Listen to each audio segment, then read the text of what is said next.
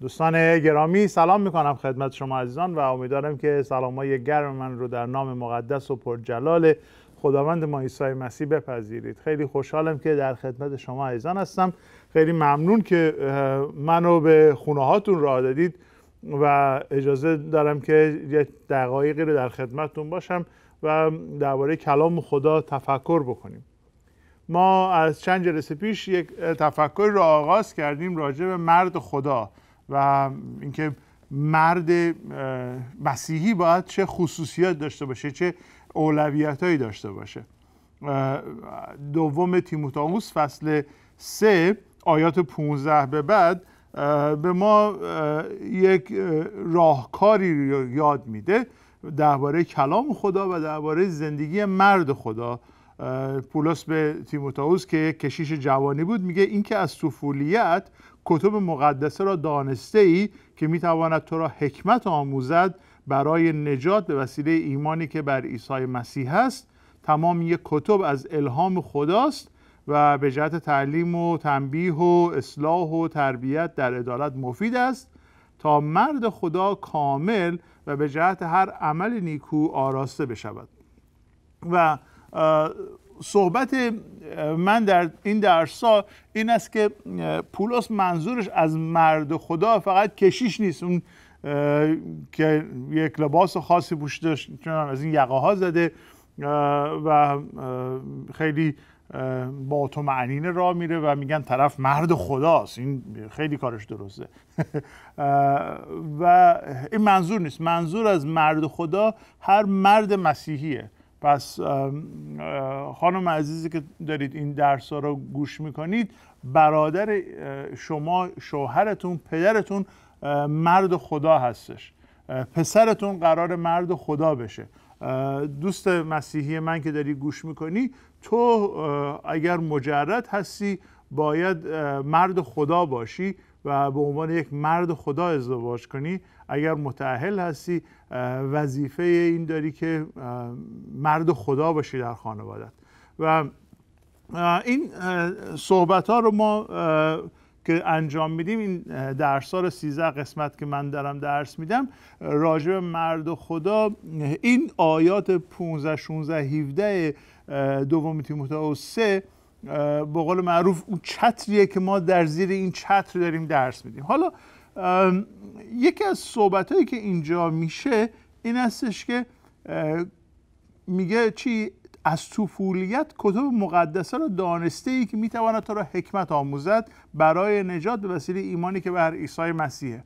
و ما می‌خوایم راجع به این یک کمی تفکر بکنیم. پس بیایید دعا بکنیم و تفکرمون رو ادامه می‌خواهیم داد. پدر آسمانی تو رو شکر می‌کنیم به خاطر این فرصتی که داریم که درباره کلام تو فکر بکنیم. دعا می‌کنم که مردانی که امروز بیننده این درس ها هستند ای خداوندا بهشون برکت بدی. در مقابل کلام تو فروتن باشیم ای خداوندا و از کلام تو یاد بگیریم. غرور رو از ما دور بفرما. به نام عیسی مسیح. آمین. صحبت اینه که پولس داره به تیموتائوس میگه که تو از طفولیت کتب مقدسه رو یاد گرفتیم. کلام به ما یاد میده که تیموتائوس مادرش یک زن خداترسی بوده و به اون یاد داده کلام رو. و این میان یهودی ها این رسم هستش که بچه ها از بچگی یاد می‌گیرن و این یادگیری کلام از زمان طفولیت اون فرمان خدا هستش در کتاب تصنیه پس خواهش می‌کنم کتاب مقدساتون رو باز بکنید روی عهد عتیق تصنیه آخرین کتاب تورات پنج کتاب اول کتاب مقدس. کتاب پنجم تصنیه فصل شش و آیه چهار به بعد من می‌خوام خدمتتون بخونم و می‌خوایم راجع به این صحبت بکنیم. شکلگیری شخصیت یک مرد از بچگی شروع میشه. دانشمندا به ما میگن که اون چیزایی که ما در 6 7 سال اول زندگیمون حتی کمتر 4 5 سال اول زندگیمون یاد می‌گیریم 70 80 درصد آموخته های ما تو همون 4 5 سال اول زندگی. و بقیه چیزایی که ما یاد می‌گیریم حالا بچه قبل از که بره مدرسه 80 درصد یادگیریاش رو یاد گرفته. و بعد از اون فقط انباشت می‌کنه یه سری اطلاعات رو. جمعآوری اطلاعات یا مهارت ها اینها یادگیری به اون شکل نیست. یادگیری موقعیه که مغز ما داره شکل می‌گیره و روش یادگیری رو ما داریم میآموزیم و اونو در خانه یاد می‌گیریم. لذا یک از دلمشغولی های دنیای مدرن اینه که پدرها کار بکنن پول جمع بکنن که بچه ها فردا میرن دانشگاه پول داشته باشن. بابای هیچ وقت بچه‌اشو نمی‌بینه و هی داره جمع می‌کنه چون که فکر می‌کنه که باید بچه بفرسته دانشگاه و اونجا دیگه برای خودش آدم بشه. حالا اینکه کل اون یادگیری اصلی رو از دست میده چون بابا همش سر کاره و بچه رو نمی‌بینه. اجازه بدین اجازه بدین یه مثال بزنم. شاید این کمک بکنه. ما وقتی که کامپیوتر می‌خریم و میاریم تو خونه این کامپیوتر هیچی روش نیست. هیچ برنامه ای نیست نه نرم افزاری هیچی روش نیست. هیچ کاری نمی‌تونیم باش بکنیم.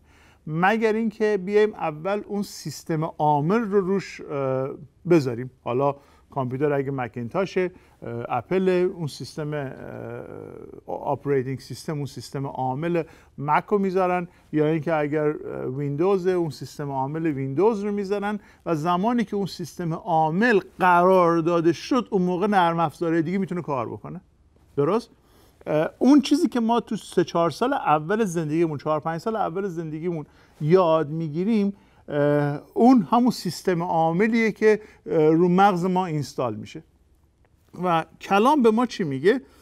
میگه که ای اسرائیل بشنو یهوه خدای ما یهوه واحد است پس یهوه خدای خود را به تمامی جان و تمام قوت خود محبت نما و این سخنانی که من امروز تو را ام میفرمایم بر دل تو باشد.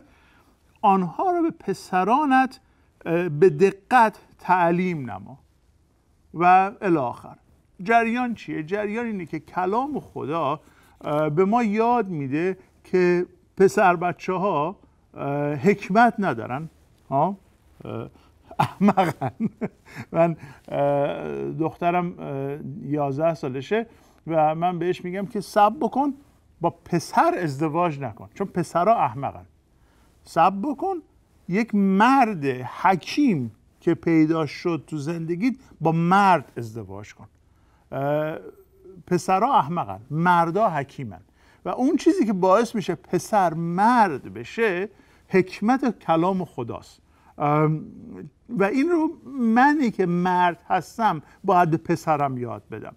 مزمور 119 طولانی ترین مزمور کتاب مقدس راجع به اطاعت قانون هستش اطاعت شریعت هستش. و مزمور 119 همش داره صحبت می‌کنه که شریعت خوبه و اطاعت شریعت لازمه و اطاعت شریعت کلام به من حکمت یاد میده ترس خدا رو یاد میده و غیره. آیه نه چی میگه؟ میگه به چه چیز مرد جوان راه خود را پاک می‌سازد؟ به نگاه داشتنش موافق کلام تو. چجوری یک مرد جوان از اون دوره حماقت رد میشه و به حکمت می‌رسه؟ به وسیله کلام. همون چیزی که در دوم تیموتائوس خوندیم. میگه تو کلام رو کتاب مقدس رو از طفولیت یاد گرفتی و یاد گرفتی که در این کلام نجات به وسیله ایمان به عیسی مسیح هستش. این حکمت رو یاد گرفتی حکمت نجات یافتن رو. حماقت رفتن به سوی جهنم را رها کردی و حکمت نجات یافتن رو آموختی. از چه طریقی؟ به چه وسیله ای به چه چیز مرد جوان راه خود را پاک می سازد به نگاه داشتنش موافق کلام تو. چجوری مرد جوان این رو یاد می‌گیره؟ منه که ریشم سفیده بعد به پسرم یاد بدم. و این مسئولیت کلام خداست. من از تو خواهش می‌کنم یه آنتراکت می‌گیریم یه تنفسی می‌کنیم و یه کلیپ کوتاهی دوستان من آماده کردن. قسمت خوب برنامه حالا شروع میشه.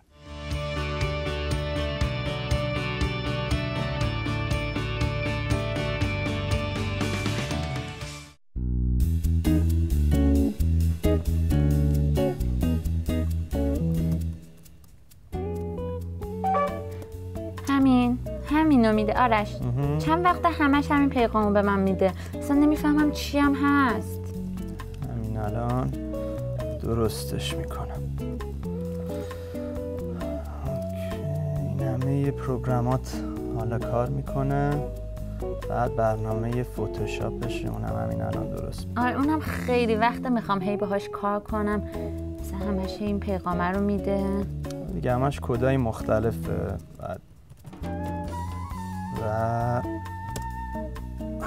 بفرما همش کار می‌کنم. واقعا؟ مبارک. مرسی عزیزم. واقعا تو یه نابغه ای آرک می‌دونی چقدر من اینو برده بودم این فرون و چهار جا برده بودم. جدی میگی؟ آره بابا چهار جا بردمش. نتونستن درست بکنن. صد دلارم دادم تازه. اه اه اه.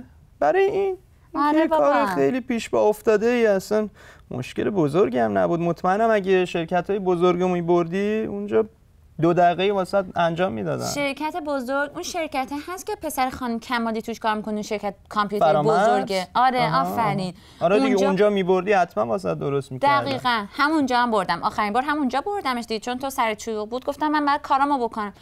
حالا پسره برگشته به من میگه خانم ما نمی‌دونم این برنامه هامون نمی‌دونم چی چیه چند تا کلمه از این قلم به سلم گفت من که بلد نبودم.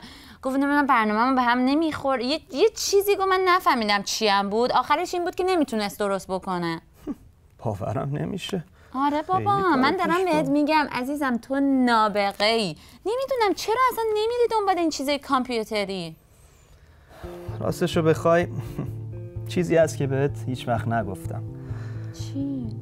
من از کوچیکی همیشه بابام بهم می‌گفت که تو هیچی نمیشی. تو هیچی حالیت نیست.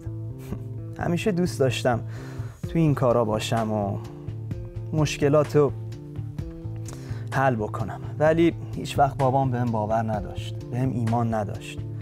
و فکر کنم همین مسئله بوده که تا الانشم احساس می‌کنم اعتماد به نفسم خیلی کمه سارا. یادم حتی تو مدرسه تو کلاس دیکته وقتی معلم داشت دیکته رو می‌گفت دسته من از ترس میلرزید. واسه همونم همه دست خطم مسخره می‌کردن. خلاصه نمی‌دونم احساس می‌کنم که هیچ وقت نمی‌تونم یه کاری رو درست انجام بدم. نه عزیزم اینطوری نیست. گذشته ها مال گذشته است. بابات هم اشتباه کرده نمی‌دونسته که تو چقدر نابغه تو الان نگاه کن. اینو هیچکی نتونسته بود درست کنه. تو تو یه دقیقه اینطوری درستش کردی. جدی میگی؟ یعنی آره. میگی من می‌تونم سارا. آره می‌تونی عزیزم. به نظر من تو می‌تونی خیلی جاهای بزرگ برسی. اصلا با همین لپتاپی که الان درست کردی برای اون شرکت کامپیوتری همین که فرامرز میگی توش کار می‌کنه به نظرم این فرماشو پر بکن. صد درصد تو رو می‌گیرن. تو می‌تونی. تو بکن. من کمک می‌کنم. خودم کمکمون می‌کنه واقعا من ازت متشکرم. تو همیشه تنها شخصی بودی تو زندگیم که مشوق من بودی. خب حالا بیا زودتر اینو پر بکن الان این فرمه رو پر بکنیم. من مطمئنم زودم جواب میدن. تو رو می‌گیرن. مطمئنم. ببینیم چی میشه. بزن فرمه رو پر بکن.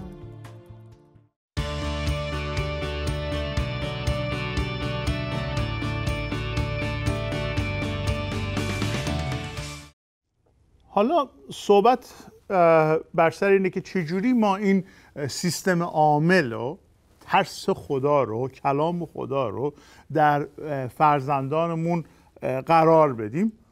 از طفولیت کلام میگه اینو به پسرانت یاد بده. یهودیا برای ما معلمان خوبی هستن و خوبه که ما به روش اونها دقت بکنیم. یک قومی که واقعا معجزه خدا رو ما در قوم بنی اسرائیل مشاهده می‌کنیم و تا به امروز.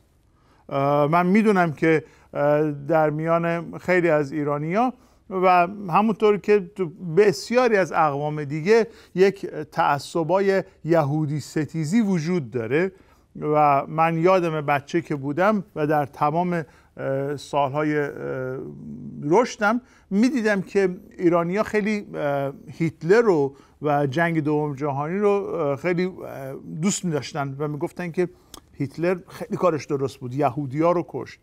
و این غلط عزیزان.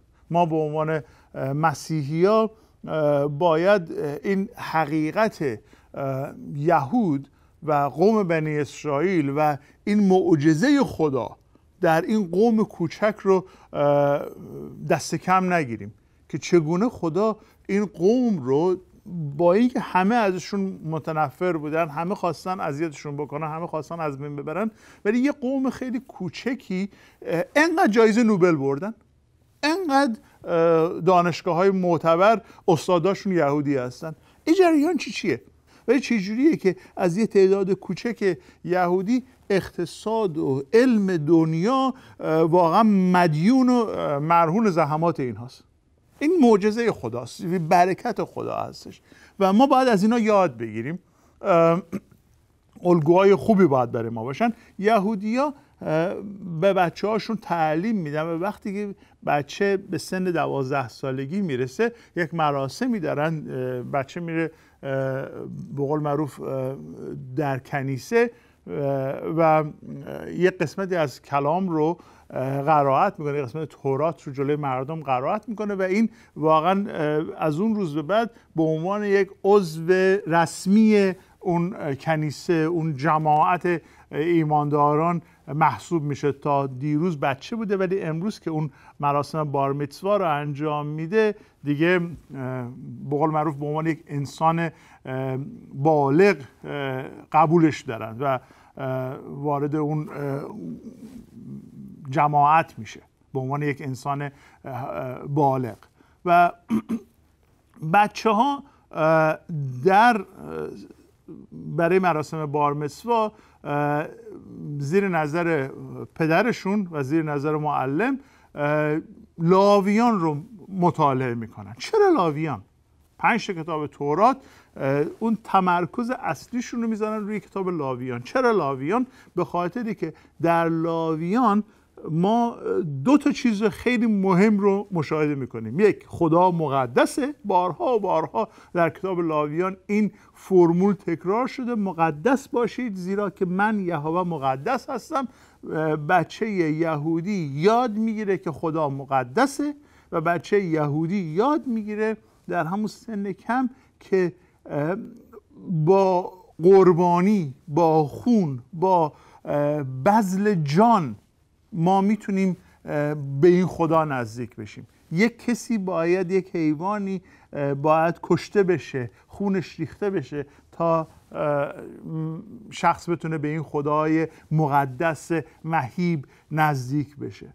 و چه تصویر عالی برای ما مسیحیان اینجا هستش که ما یاد می‌گیریم خدا مقدسه اول یوحنا میگه خدا نور است و در وی هیچ ظلمت هرگز اصلا تاریکی درش وجود نداره و به وسیله خون عیسی مسیح به خاطر اون جانفشانی عیسی مسیح که ما به حضور خدا می‌تونیم وارد بشیم و به صحنهای مقدس او بیایم و دعا بکنیم. برای همینه که ما مسیحیان وقتی که دعا می‌کنیم به نام عیسی مسیح دعا می‌کنیم. به خاطر اینکه اعلام می‌کنیم که من به لیاقت خودم نمی‌تونم به حضور تو بیام.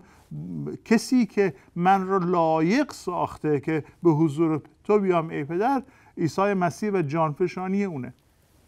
این رو ما باید بچه همون یاد بدیم. مرد کشیش خانواده هستش. حالا من بیرون خانواده هم کشیش هستم. ولی شما ممکنه میگم کارمند دولت باشی یا افسر ارتش باشی یا لولکش باشی نجار باشی پزشک باشی هر چی می‌خوای باشی بیرون از خانه در منزل شما کشیش خانه هستید. و شما وظیفه دارید که پسرانتون رو دخترانتون رو در ترس خداوند بزرگ بکنید کتب مقدس رو به اونها یاد بدید تا اونها بتونن نجات رو از طریق این کتب بفهمن که به وسیله ایمان به عیسی مسیح می‌تونن به دست بیارن. و این مسئولیت این کار بر عهده معلم کارون شادی نیست بر عهده کشیش کلیسا نیست بر عهده افرادی که ده یکای شما را دریافت می‌کنند و در کلیسا خدمت می‌کنن نیست بر عهده شماست در وهله اول. و ما در کلیسای کوچک خودمون در تورنتو این کار رو انجام میدیم. خانم من معلم کانون شادیه. یک کتابایی رو هر ترم که بچه ها باید یاد بگیرن سال تحصیلی یک کتابایی رو ما می‌خریم بهشون میدیم و اینها باید تو خونه با پدر مادرشون این کتاب یاد بگیرن که روز یک شنبه که میان تو کانون شادی مدرسه روز یک شنبه این درس ها رو آماده کرده باشن. ما با این کارمون با یه تیر می‌خوایم دونشون بزنیم. یکی اینکه بچه ها دارن یاد می‌گیرن حقایق ایمان رو. یکی اینکه پدر مادرها مجبور میشن که با بچه هاشون یاد بگیرن و مجبور میشن با بچه هاشون وقت بگذارن. حالا پدر باید کشیش خانواده باشه و این صحبت اینه که مرد خدا صرفا نر نیست. بلکه مرد خدا کسیه که مطابق کلام خدا حکمت رو آموخته و حاضره و باید بتونه که این کلام رو به همسرش و به فرزندانش یاد بده. ما در کلام چی میآموزیم مگه؟ اجازه بدید من چند تا نکته مهم رو خدمتون عرض بکنم در این دقایقی که داریم. ما در کلام خدا اول از همه حکمت خدا رو یاد می‌گیریم. اگر که کتاب امثال رو بخونید یک مرد خدایی به من سالها پیش نصیحت کرد که فریبرز سعی کن روزانه یکی از فصلهای کتاب امثال رو بخونی و حکمتت اضافه میشه. حالا وقتی که شما کتاب امثال رو می‌خونید می‌بینید که خب سی تا فصله و برای هر روز ماه یه دونه هستش. خیلی از این امثال با عبارت ای پسرم شروع میشه. ای فرزندم ای دخترم ای پسرم یاد بگیر. از حماقت پرهیز بکن. حکمت رو بیاموز. ما در کلام خدا حکمت رو یاد می‌گیریم. حکمت خدا چیست شبیه عیسی شدن پرهیز از گناه پرهیز از اشتباهات. من در زندگیم اشتباه زیاد کردم و بهشونم افتخار نمی کنم و خیلی به حضور خدا اعتراف می کنم که اشتباهات من و گناهان من رو ببخش. ولی هر از گاهی وقتی بعضی از اون اشتباهات بیادم میاد اینجوری میشم. اصلا از خودم بدم میاد چندشم میشه. و میگم عجب تو آدم ابلهی بودی فریبرز این اشتباه کردی. چرا این اشتباه رو کردی؟ این حرفی چی بود زدی؟ این کار چی بود که کردی؟ کلام خدا راه هم رو من چجوری می‌تونم صاف نگاه دارم؟ به چه چیز مرد جوان راه خود را پاک می‌سازد؟ به نگاه داشتنش موافق کلام تو. کلام خدا برای من اون شاغولیه که دیوار زندگیمو راست نگاه میداره. اون خطکشیه که من راه هم رو راست می‌کنم. من به وسیله کلام خدا یاد می‌گیرم که پرهیز از گناه بکنم حکمت بیاموزم. به وسیله کلام خدا من یاد می‌گیرم ارزش رحمت و محبت رو. زمانی که من رحمت و محبت پدر رو پدر آسمانی رو در زندگی خودم تجربه می‌کنم می‌تونم فرد رحیم و محبت کننده باشم. من در وجود من به عنوان یک انسان انقدر خودخواهی و غرور و خودپرستی و خودپسندی وجود داره که من رحمتی ندارم که به کسی بدم. من فقط و فقط می‌تونم و شما هم همینطور. فقط و فقط می‌تونید کانالی باشید مجرایی باشید که رحمت رو از خداوند دریافت بکنید. و به دیگران بدید. اگر رحمتی رو دریافت نکنید در وجود خودتون چشمه جوشان رحمت و محبت وجود نداره که بخواید به دیگران بدید. من تو این دقایق آخر یه داستانی می‌خوام بگم. یک مرد خدایی هست کشیشی است به نام تونی کمپولو. من این داستان رو شنیدم و خیلی برام جالب بود. ایشون یه جا رفته و صحبت بکنه.